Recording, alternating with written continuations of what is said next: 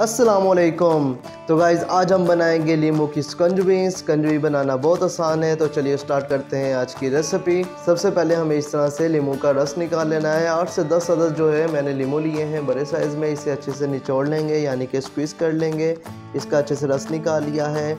ये जग लिया है। जग में दो गिलास की कैपेसिटी है। और साथ हमने एक गिलास अलग से लिया है। सबसे पहले थोड़ा नॉर्मल वाटर जो है, इसमें थोड़ा थोड़ा शामिल कर लेंगे। टेस्ट बनाने के लिए चीनी जो है हम इसमें टू टेबल स्पून यूज़ करेंगे, यानी कि एक गिलास में वन टेबल स्पून दूसरे में भी डाल देंगे वन टेबल स्पून इस तरह से अच्छे से मिक्स कर लेंगे डिज़ोल्व कर लेंगे चीनी को पानी के अंदर अच्छे से। ये देखें गाइस अच्छे से मिक्स कर लिया। अब इसमें हम लेमन जूस यूज़ करेंगे। लेमन का जो रस हमने निकाला हुआ था।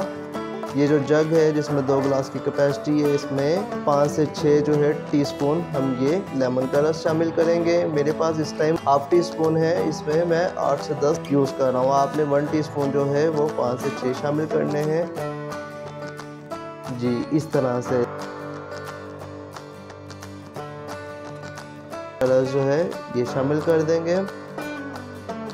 रमज़ान में अफ्तारी के लिए बेहतरीन होती है जो स्कंजबी मैं तो यही पीता हूँ, आप भी यही पिया करें। बहुत फ़ायदा मंद है।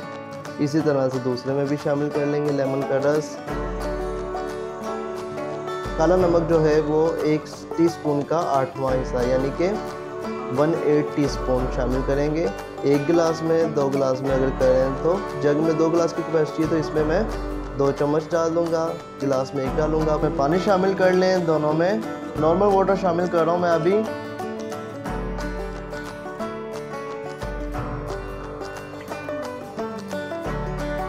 अब जिसमें बर्फ़ शामिल कर लें। इस तरह से जितना आपको ठंडा रिक्वायर्ड है, आप उतनी बर्फ़ शामिल कर सकते हैं। अल्हम्दुलिल्लाह, बहुत ही मज़ेदार और ये झटपट से रेडी हो जाती है स्पंजी लेमू की।